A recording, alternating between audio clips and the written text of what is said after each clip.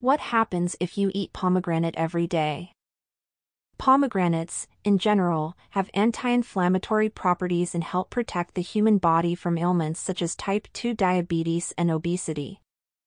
What diseases can pomegranate cure? Pomegranate is a tree. Various parts of the tree and fruit are used to make medicine.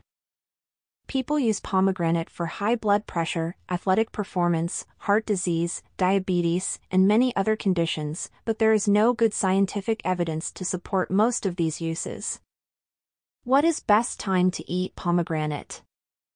Pomegranate, taking pomegranate on an empty stomach in the morning would be best for anyone. It is a wonder fruit that is enriched with powerful antioxidants and numerous medicinal properties. Is it okay to eat pomegranate seeds? The seeds themselves appear to be perfectly edible.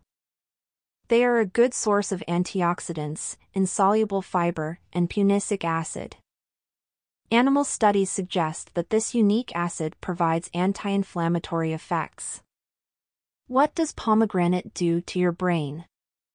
Enjoying pomegranates and pomegranate juice gives your brain a potent antioxidant boost. And thanks to its plentiful amounts of antioxidants, pomegranate is one of the best foods to eat when it comes to boosting your brain health.